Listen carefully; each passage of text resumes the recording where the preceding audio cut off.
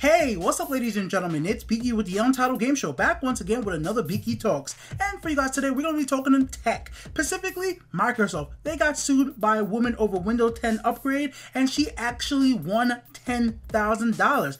Not a drop in the bucket for Microsoft, but it's the point of the story because this relates to me, and I'm sure many of you out there might have actually run into this problems for yourself or your family. So you guys might remember in early 2015, Microsoft really started promoting Windows Windows 10 and try to push that out to everybody. Well, this woman right here, she had a problem. She was running a business. It had a copy of Windows, and Microsoft's Windows 10 automatically updated to, well, Windows 10, and then the computer started crashing, having errors, going slow, and then she wasn't able to use her computer for her business.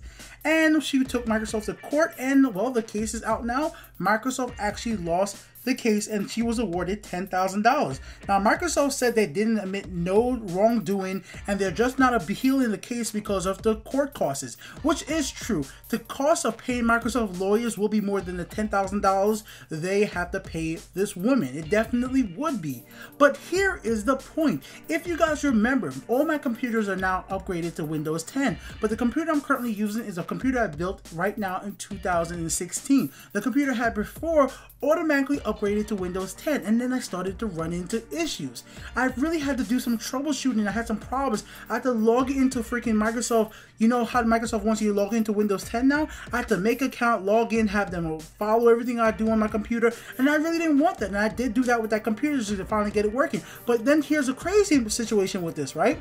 I have friends who run repair shops, and I have families out here who don't know about computers. Some of their computers are upgraded as well, and they ran into the same issues of crashes, stuff, and it made me mad because I had to go out there and troubleshoot so many computers that I just didn't want to have to deal with for families and friends about Windows automatically upgrading, people not understanding, and it crashing and not working right. At the time, I just thought there was nothing you could do about it. I didn't think if anybody sued Microsoft, they wouldn't be able to win because it was a, technically a free update. But here we actually have some justice for this lady, and to know that some people out there who actually lost a business, because in this case, this woman lost her business the computer because Microsoft automatically updated her shit and she had the right to sue and she got her money. This is not a frivolous lawsuit. This is a lawsuit that Microsoft should have lost because they should have been better at the way they were distributing Windows 10 in the early days. Now that they have it so you can set it up schedules, but they were very aggressive with it early on. And early on there was a lot of issues. Now i will tell you guys go ahead and upgrade to windows 10 it's working perfectly fine for me. I haven't had no issues in months. My family's not having an issue. My friends are working fine.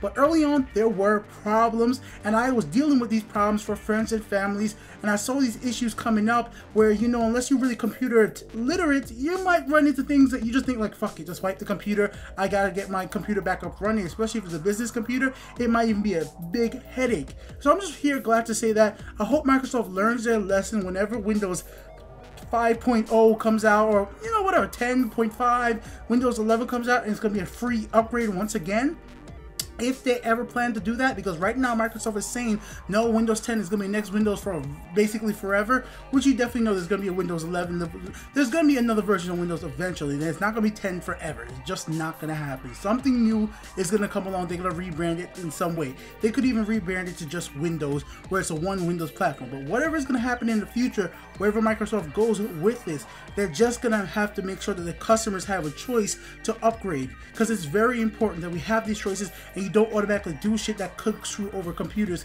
because it really sucks when you lose shit lose your data. You guys know it. So I'm just glad for this woman to actually won this lawsuit. It's only a victory for the small guy right here, but I'm glad to see that some way out there there is a judge that understood that yes, Microsoft messed up in this case and that woman deserves that $10,000 for her loss in her business. Sometimes as little people, like I said guys, I would have never expected a judge to award Microsoft a loss on this case. When I finally heard that she actually got her money, I'm like, good going, judge. The system actually works for once. So here you go, guys. Just my tech talk for Monday. Biki Talks. Share your opinions in the comment section below. Did Microsoft go a little too aggressive when the Windows 10 upgrade when initially came out? I personally think they did. They tried to force a lot of people upgrade. Even when you said no, they wanted to keep pushing it out there. Yes, it's free, but sometimes free software out there could break your stuff. Like, not everything free is great. Look at Steam Greenlight. Later, guys.